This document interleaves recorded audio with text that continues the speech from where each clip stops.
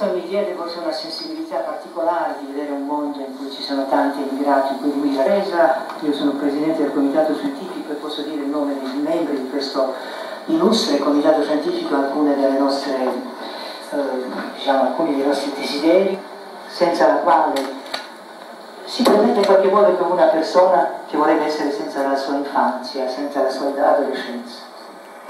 E questo era diciamo, il primo scopo. La seconda cosa concerne il Mediterraneo in quanto tale.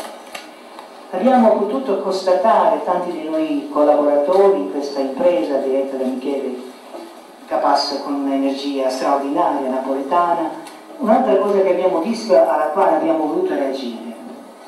Nel Mediterraneo stesso, questa forza dell'identità mediterranea.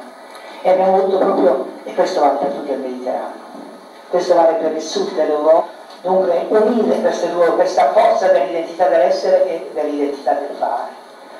Ci sono tanti scopi, non posso enumerare tutti, ma voglio dire alcuni che sono gli ultimi e che sono dinanzi a noi.